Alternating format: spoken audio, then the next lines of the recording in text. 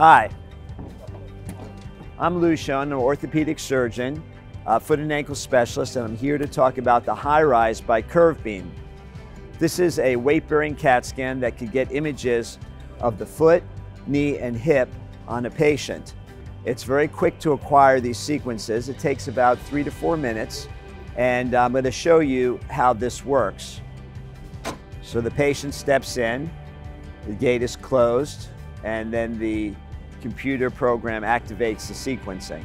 So why would we bother with this when we have conventional CAT scan and conventional radiographs and MRIs? Well, it's a good question. As we know, radiographs, even if they're weight-bearing, are two-dimensional representation of three-dimensional objects. And so we don't really have the full information about what's happening of those three-dimensional objects because we're only capturing in a certain plane. With the CAT scanning device, we can see all the relationships, so the relationships of all the bones to each other, and we could also see the uh, soft tissues, and we could see also the relationships of the bones to the ground. So therefore, we're able to make numerous measurements that can be useful to really accurately represent what is happening, again, in a three-dimensional structure, the human body, in a three-dimensional format. And then you could reformat those images to take single slices to get your measures, measurements.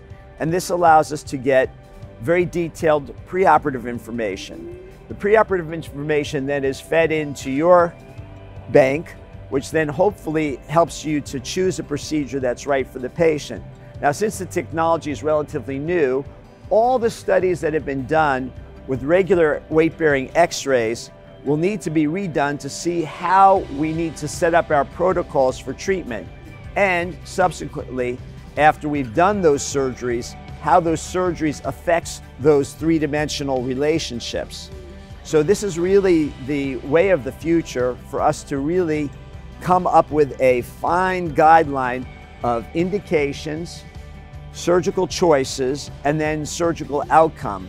Again, using three-dimensional imaging for three-dimensional structure. Now I'm going to give you a few examples. For example, we have a ankle arthritis case. Now, sometimes you have a little bit of ankle arthritis and it may be slightly tilted and you wouldn't know on a regular x-ray, but you get a weight-bearing x-ray, you see the little tilt.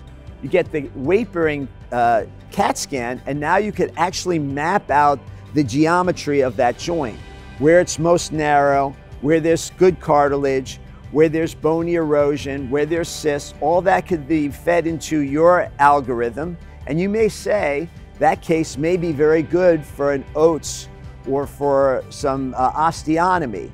Or conversely, it's too much of the joint that's involved. The joint morphology dictates that we need to do a total ankle replacement.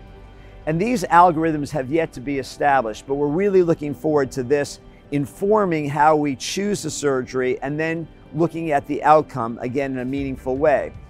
So current indications that I use the weight-bearing CAT scan uh, for is I do it for some of my forefoot reconstructions that are complex, my midfoot Charcot collapses, the deformities that are multi-segmental. I use it for a hindfoot deformity, for the progressive collapsing foot deformities, uh, for what we used to call posterior tib tendon insufficiency, and how that affects all the layers, all the different joints, up to the, even up to the knee.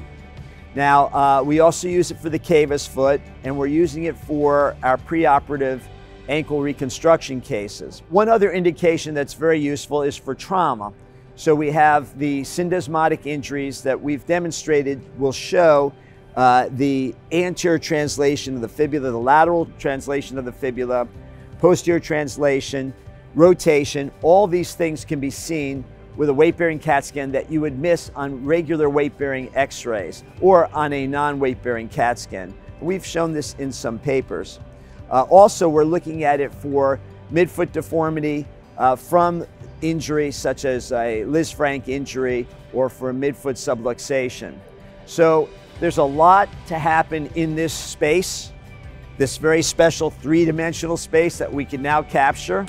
And uh, the future is bright for lots of great research projects and for making very good indications for surgery and following them up with very specific, detailed images. So uh, we look forward to the future and thanks for listening.